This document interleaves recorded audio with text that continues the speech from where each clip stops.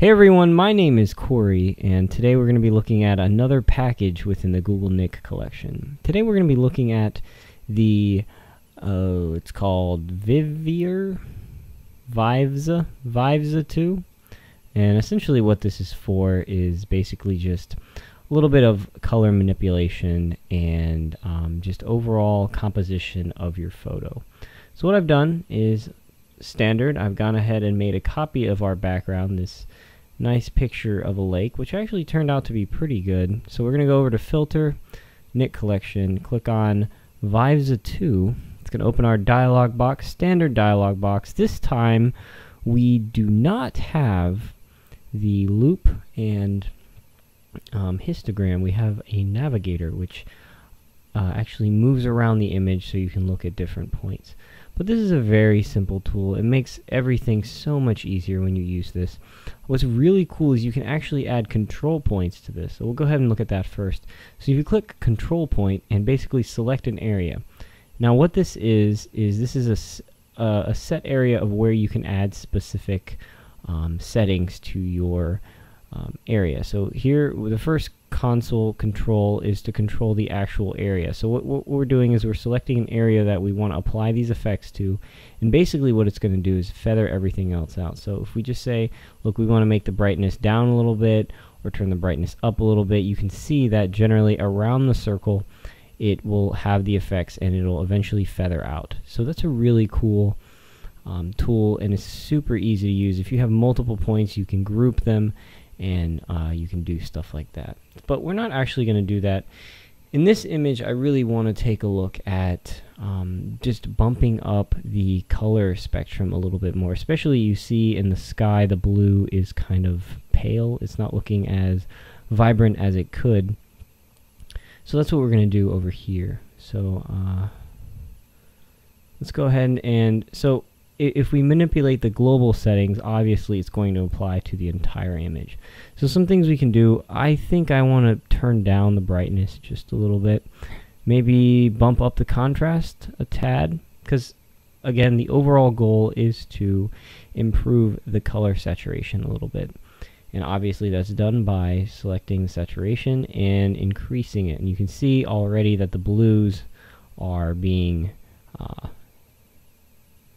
improved. So if we go ahead and do 100%, we'll see all the colors are drastically improved. But that's a little bit too much. So honestly, what I'm going to do is I feel like I should go around 66, maybe 70, because when we when we get above that, we start getting a little bit uh, things look a little bit fake and washed out uh, color. And the structure, uh, we're going to actually turn the structure up just a little bit. Um, it increases it helps with the shadows just a little bit. So again that's super easy to use. This is really just play around with these sliders until you get things that you want. Honestly what I would do maybe up here is I would make a um, a control point and actually decrease the brightness just a tad just because this is a little bit too um, bright and maybe bump up the contrast just a little bit. Uh, that doesn't look too good.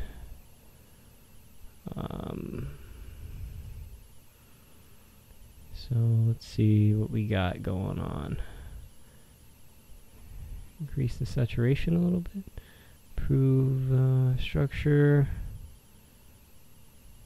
Um,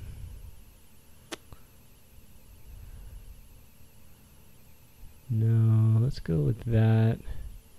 Maybe decrease the control point a little bit. Okay, so we have something like that. That looks okay. Maybe with a little bit more um, messing around or playing around, we could improve stuff. So let's decrease the overall saturation just a little bit and the structure as well.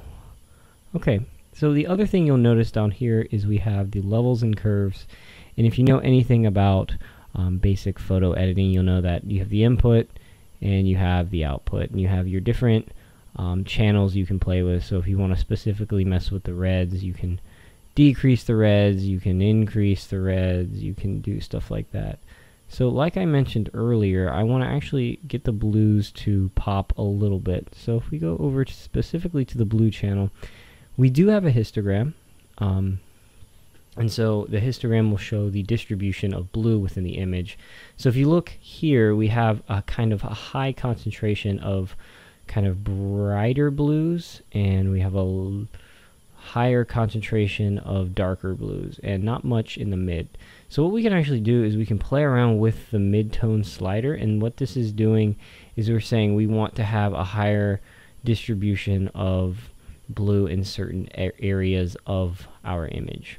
And so another good practice, especially when you're doing dealing with any kind of histogram, is to actually um, crop the histogram essentially to get rid of colors that you don't need. So for example, if you look here, you can see that there's a pretty straight line, a cutoff where the blue stops. So what I'm going to do is take this adjustment highlights and just move it on over. And you can see already it, everything looks a little bit better. Um, I'm going to move the gamma, which is the middle slider, up a little bit. And especially what I'm looking at is I'm looking at the color in the water. So I don't want something that looks like that, that looks clearly fake. I kind of want to know that it's definitely blue water, but not too much. So somewhere around here. And again, what you can do is you can click on the curve, you can add certain control points, and you can um, move those control points up and down to get a more dynamic uh, curve. Okay, and again, if we go to RGB, and again, we cut down the color, we're basically just making everything a little bit more vibrant. Um, again, the clouds don't look as good, and the way I would fix that is I would add some control points. And so control points are basically the equivalent of adding masks without having to add different layer masks. Um, so yeah, a really easy tool to use and is really powerful. So if we hit OK and we look at our before and after, we can see, in my opinion, it's definitely an improvement, especially in, if you look at the water alone, you can see that everything is kind of a little bit more blue tinted, and that was the kind of look I was going for, but you can also see within the greens and the reds, and pretty much all the color is just um, a little bit better. I would probably go back and change the blue tint a little bit. It's a little bit too blue, but overall, um, I, it's definitely an improvement. So, um, I hope you guys enjoyed this video. Um, again, this collection is free. Thank you for watching. This has been Corey from the Techies.